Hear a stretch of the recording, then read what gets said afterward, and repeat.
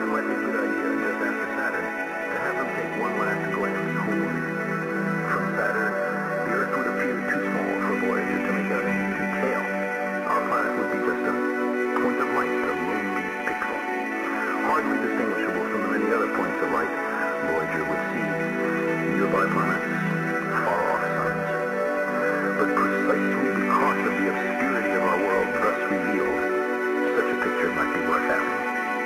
had been well understood by the scientists and philosophers of classical antiquity, that the earth is a point.